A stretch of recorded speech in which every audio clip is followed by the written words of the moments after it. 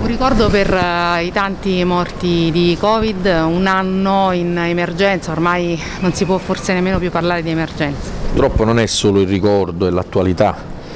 Stiamo in piena terza ondata con centinaia di morti al giorno, quindi è ancora lunga la battaglia per uscire dalla pandemia per oggi era doveroso che i sindaci d'Italia si unissero simbolicamente stando sotto i propri municipi per ricordare le tante vittime, oltre 100.000 morti.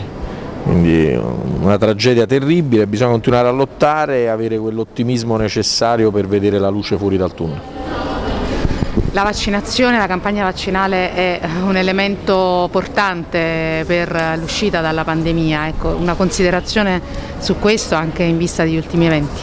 Ma speriamo che oggi arrivi qualche parola di chiarezza che diradi un po' la confusione, la mancanza di trasparenza e anche di parole chiare da parte del governo.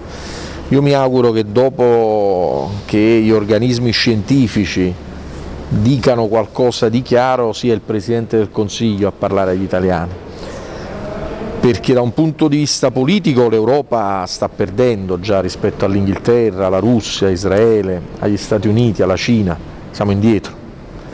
Bisogna spiegare perché stiamo indietro, perché essere indietro significa avere più morti, essere indietro significa avere una pandemia sociale ed economica e del lavoro che non si riesce ad affrontare è complicato poi accettare in un momento in cui lo stress psicologico di una nazione intera è forte che il giorno prima si dica agli italiani dall'alto, no? delle istituzioni non vi preoccupate, AstraZeneca è sicura, non ci sono ragioni perché venga sequestrata, la mattina dopo vengono sequestrate tutte le somministrazioni in tutta Italia, quindi ci rendiamo conto che è un momento difficile, ma proprio perché è difficile ci vuole credibilità, trasparenza e chiarezza. Io mi auguro che oggi questa possa avvenire e mi auguro che possa riprendere velocemente la campagna vaccinale, perché senza i vaccini si allontana di gran lunga l'uscita dal tunnel.